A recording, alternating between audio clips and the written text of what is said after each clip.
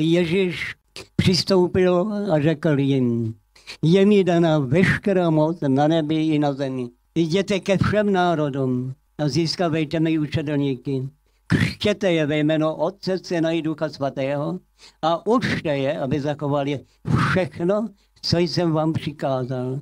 A hle, já jsem s váma po všechny dny až do skonání tohoto věku. Ježíš přistoupil a řekl jim, on, než byl vzat, nebyl stále s ním, ale najednou je vedle nich. A já dneska mám poselství pro tebe, že ten Ježíš je tady s námi. Jen jedno, prosím tě, dovol mu, aby mohl přistoupit až k tobě. Když mi bylo 18 let, to mi Bůh, když mě zastavil, sdělil, že mě čeká vězení. Ale nejdřív se mě ptal, jestli chci jít za ním a jestli se mu chci plně vydávat. A vždyť to ve mně hučelo. Ta píseň vše ti vydávám, požehnaný spasiteli, vše, co mám i mít budou. To byla tak oblíbená píseň, tak se mi vydáváš. Dobré, já si tě povolávám jako vedoucího letniční církev, ale jestli to přijmeš, tak tě čeká vězení. No nazdar. Ono už to mělo jiné barvy. Ono už to vypadalo jinak. Ale přesto jsem řekl ano. V těch barvách to taky vypadalo, když jsem šel za Maňkou, abych uslyšel ano nebo ne. A když mi řekla ano, tak jsem řekl, Maňko, víš, ale Bůh mi řekl, čili nějaký čas budeš jako žena mik, eh, kriminálníka sama. Říkal, o takového jsem se modlila. Čili, ano, toto je. A teď přichází ten den, po několika desetiletí, ráno mě čekají tři chlapy, pojďte s námi. A už to šlo v jednom kuse. Večer, to je jasné, že se mě nikdo neptal, jestli jsem obědoval, jestli nemám žízeň. Nechtějte to, prosím vás, pojďte báci. Večer mě hodili do takového kamrlíku. Tam jsem se na zem sesypal, protože nebyly okna, jedny dveře a světlo a podle. A najednou je otec vedle mě. Ale to nebylo žádné, co bychom očekávali, Rudku, tak no, to zvládneš, neboj se. Není. Takže, Rudku, jsi ve vězení, no, situace se nijak nemění a teď úkoly, které tady budeš plnit. Jo? Každý den se budeš modlit dvakrát denně za všechny členy církve. Každý den, každý den, jo? A to byl jeden úkol za druhým.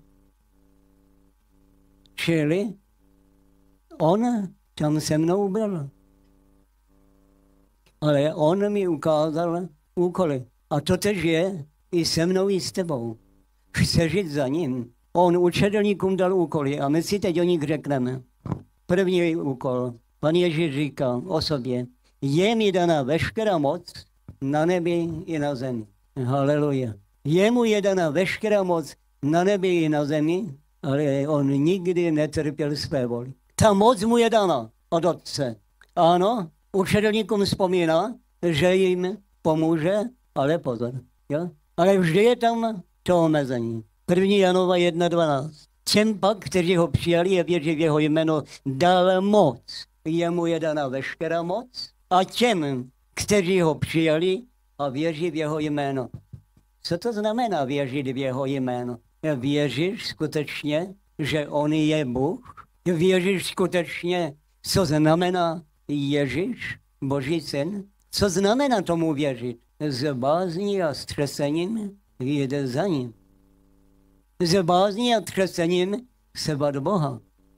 On jim dal moc stát se božími dětmi. Ti se nenarodili jen jak se rodí lidé, jako děti pozemských otců. Nebe se narodili z Boha. Jan 1, 12, 13.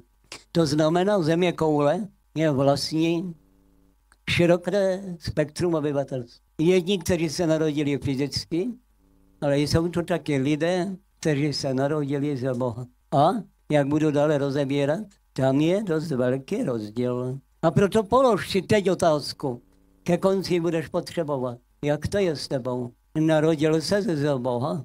Dále Korinským 1.18 čteme. Slovo o kříži je bláznovstvím těm, kdo jsou na cestě k zahubě. Nám, kteří jdeme ke spálce, je moci je boží. Slovo o kříži.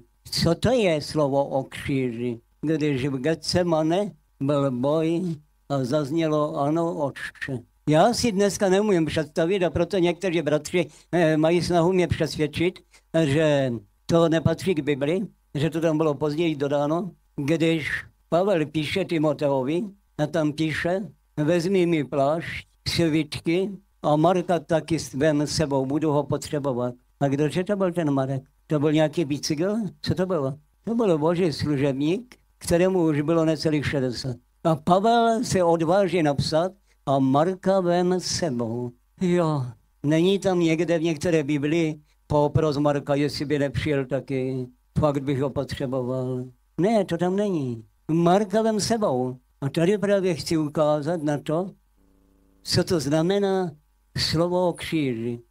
Markův kříž byl, že vydal svůj život, aby stal vedle Pavla. A proto přišel rozkaz, Marek se balil a šel. Jsi připraven podobně? Když jsem byl ve vězení, už několik týdnů, tak jsem se odvážil otce zeptat, k čemu to je nutné. Že já tam musím v té světnici pobývat. No víte, co mi odpověděl? Kdybych tě tu Rudku nepotřeboval pro zvelebení své slávy v této zemi, tak tu nejsi ani sekundu. No dovol, co ty můžeš mít z toho, že já tady sedím v bavce? Komu to může k čemu pomoct? Jo. Ale oni mě jednou pustili a já jsem dále pracoval na božím díle. První, jak jsem se objevil na šachtě, tak mě chlapi objímali. Hrude, o tobě se mluvilo ve svobodné Evropě. Co? No, mluvili o tobě. Bratr z Chomutova, tady, Říká, no, my jsme nic nevěděli, ale večer manželka zapěla svobodnou Evropu a tam jsme se dozvěděli, že jste ve vězení. No jo, ale to šlo dále. Nepřátelé to v zahraničí pořádně zametli. A najednou Bůh s tím něco udělal. Ono právě v Kenii byla světová konference, i právě bratr Ulonska a další to ohlasili před celou konferenci, udělali noční modlitby, ráno napsali dopis, kde ho celé vedení podepsalo a bratr Ulonska ho odnesl na českou ambasádu. A já jsem se pak na vládě dozvěděl. Vy nevíte, jako by to byl rachot. No ne, tam ve vězení jsem to nevěděl. Ale když mi to eh, předseda vlády vyprávěl, aha, tak proto si mě tam potřeboval. Já mu nemusím rozumět, ale já potřebuji jedno. Naučit se ho v plnosti poslechnout. Vy jděte ke všem národům. A jak? Kdo? No to se už Duch Svatý postará. Ale bude to cesta ke všem národům. Připravte se na to. Jděte a zvěstujte. No a můžeme sledovat. Den 50. Petr a další učitelníci povstali. Petr, který měl tolik strachu, a najednou před tisícema lidí, lidma tam stojí a zvěstuje evangelium. Dále skutky 8.14, když apoštolové v Jeruzalémě uslyšeli, že v Samaře přijali Boží slovo, nehlasovali, kdo by tam měl zajít. Já mám v mé Bibli, poslali Petra s Janem. Petře, vem si Jana a půjdete tam. Jo, všimejme si v Bibli těchto věcí, že tam znovu a znovu Duch Svatý je ten, který nám chce dát sílu, abychom naplnili vůli jeho Otce. No a pak přeme dále. Kornelie, stojí před ním anděl. No Kornelie už musel být vytřepaný, ale nebojí se. Pošli tam do Jopy a pozví. Petr se modlí a teď taková plachta. Oh, těch nečistých zvířat. Která zvířata u nás jsou nečisté? Krysy, psy, jo, a ještě jim podobné. Teď to jde z nebe dolů, no a co s tím Petr se modlí? Petře, zabíjej a jest. Otče, ne, to, to já jsem ještě nikdy neudělal. Tak to uděláš teď. Jo? Čili uvědomme si to. Tady je někdo, kterému je daná veškerá moc, ale který taky nám uděluje příkazy. A můžeme jít dál. Diakon Filip je v Samaři a dostává zprávu, že má jít do Fili, do, eh, že má jít dál. A co je v té zprávě? Vydejí se na jich po cestě, která je pustá. Není to divná zpráva? No tak kdo tam je? Proč já tam mám jít, když je pusté? Vydejí se po té cestě, která je pustá. No on šel a skončil, pak je ve vodě. A teď všichni, někteří z nich původem z Kypru a z Kyreny, začali po svém účeku z Jeruzaléma, příchodu do Antiochie zvěstovat Pana Ježíše taky pohanom a moc Boží byla s nimi. Je mi dana veškerá moc, ať se jmenuješ jakkoliv, jestli jsi připraven naplnit mou vůli, poddat se jí, pak i z tebe bude vycházet veliká moc. Neboj se. No jo, ale my očekáváme, že ta veliká moc, že se budu třepat a nevím co. Nenutně. Neptal jsem se těla a krve, říká apoštol Pavel na jednom místě. Čili jakmile jednou se sjednotím s Ježíšem a on mi dá příkaz, pak pro mě platí jen to jedno. Zde jsem. Čili vzít jeho křiž znamená následovat ho v čem? Kdo přichází ke mně a nedovede se zříci svého otce, matky a tak dále, nemůže být mým učedelníkem. Kdo donese svůj křiž a nejde za mnou, nemůže být mým učedelníkem. Tak ani každý z vás, kdo se nerozloučí ze vším, nemůže být mým učedelníkem.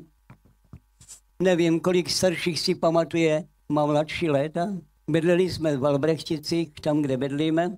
A já jsem nezapomněl v kázáních vyprávět, jak si neumím představit, že bych měl jít bydlet do města. Tam na tom okraji těch Albrechtice je ono. Až přišel jeden den.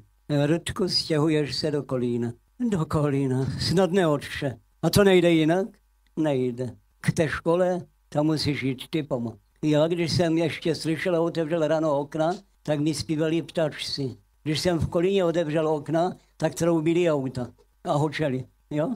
Když jsem se podíval z okna, jo, to nezapomenu nikdy, jak srnka se pasla u plotu a dva koloušci jí dojili. Jo, to byl nádherný obraz. Jo, to na to se dobře dívalo. Ale na co se dívat z okna z Kolína? Na ty auta jsem zpátky, jsem zpátky.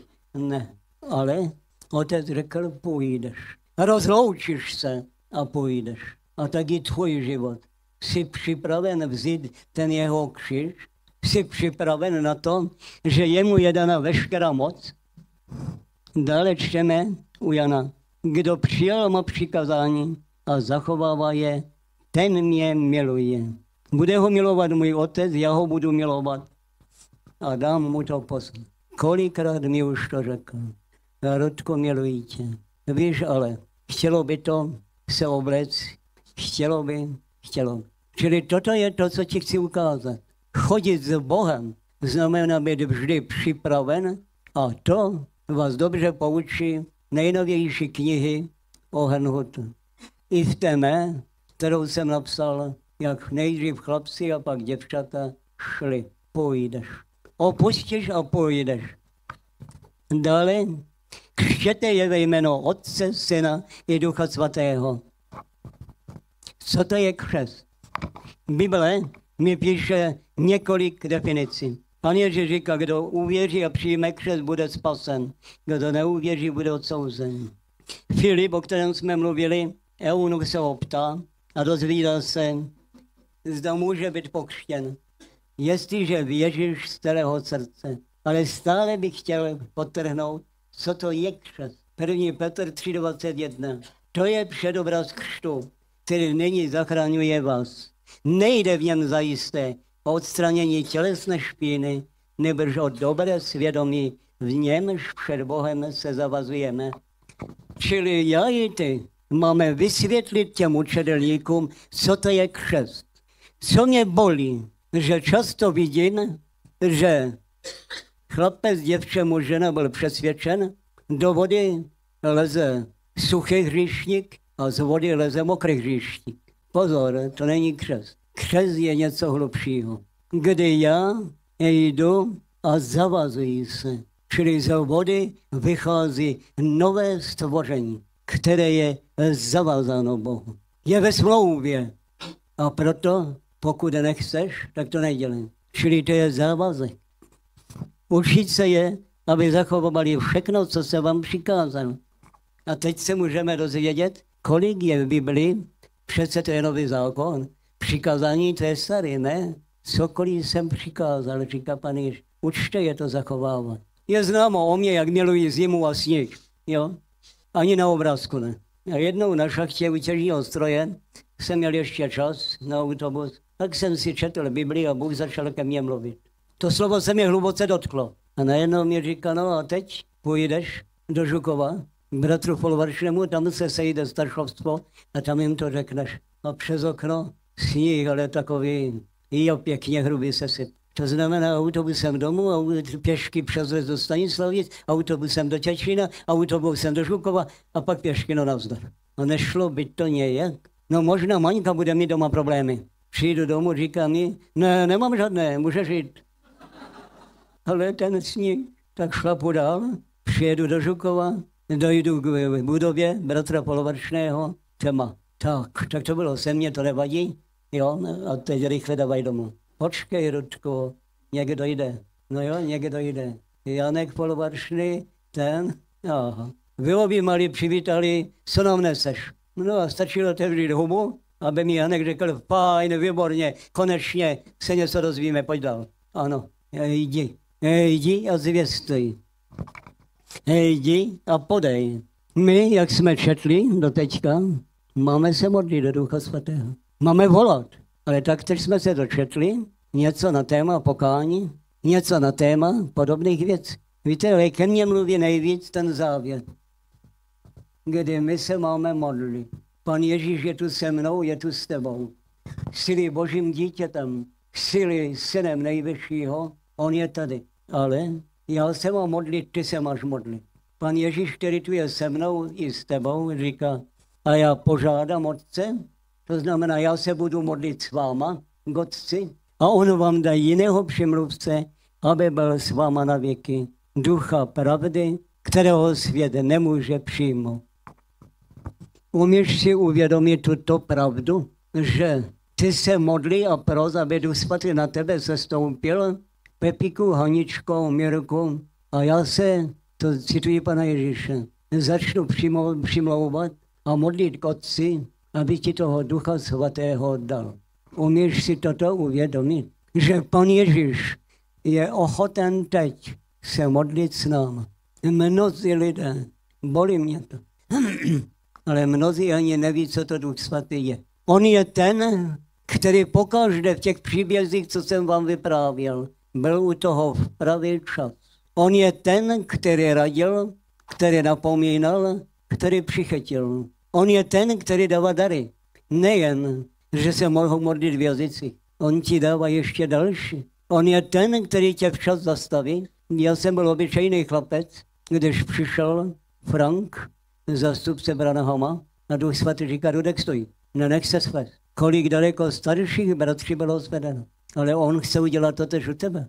On chce, když ty žiješ v bojích, zápasech a problémech a přijdeš k němu, on chce ti sdělit, neboj se, je to v pořádku. Za chvíli se vrát. Ano, ve věznici jsem se několikrát s ním setkal. A on byl ten, který mě řekl, všechno se změnilo, pro modlitby, které k tobě jdou z celého světa, a já nevěděl odkud, jsem zkrátil dny tvého utrpení, půjdeš domů. On je ten, který ti je ochoten zjevit budoucí věci, který je ochoten tě povzbudit, neboj se, pojď na kolena, čím pokání. On je ten. A pan Ježíš říká, já vám ho dám. A tak se tě chci zeptat, jsi připraven na to, dneska se modlit a prosit, pane Ježíši, pojď se mnou do té modlitby. Já skutečně toho Ducha Svatého potřebuji. Ano, jsem mu vděčný za ta léta, kdy jsem mohl s ním to prožívat. Kdy jsem mohl s ním takto žít. A dneska ti vyhlašuji, že se nemusíš modlit sám. Že je tu Ježíš, který říká, pojď, budu se modlit s tebou. Budu Otce prosit, aby ti ho dal. Aby ti dal ze, tvých, ze svých darů. Ale jsi ty na to připraven?